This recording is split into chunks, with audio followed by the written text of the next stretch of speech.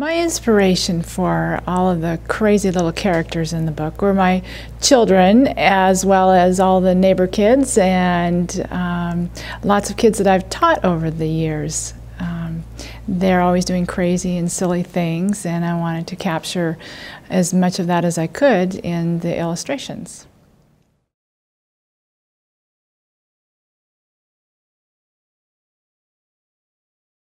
Um, when I learned that I wanted to be a painter was much later in life than most people. I, um, at 35, picked up my first paintbrush after a long period of illness, and I realized at that time that I should probably spend a little bit more time in life doing things that I love. And I knew that that was something that I always wanted to do, and ever since um, I picked up that first paintbrush, I haven't put it back down.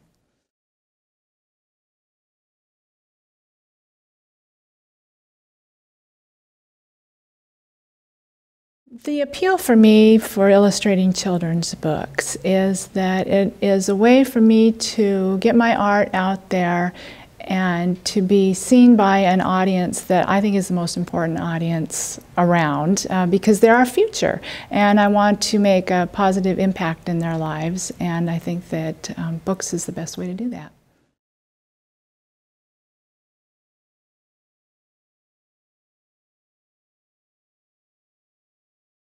Practice, practice, practice.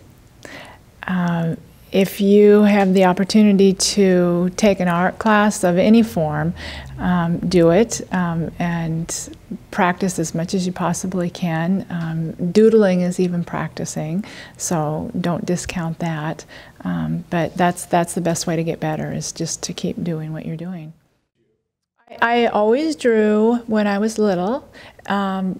But the only formal art class that I ever took um, growing up was in high school was a, a, drawing class. I absolutely loved that class.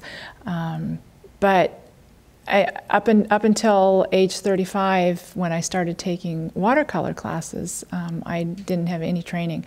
Um, I, I, always had used drawing in my life um, for a, a, a, variety of um, oh, what do you want to call it, um, therapy. Uh, it, it's, just, it's just always been something that I do.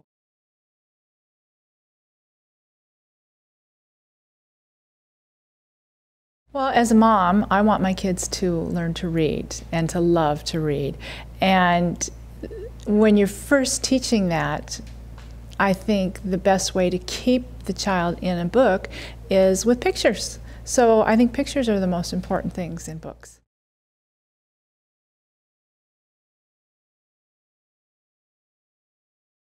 I consider the style painterly realism. Um, and it, it, it, has a lot of detail that you'll notice that um, where the book doesn't.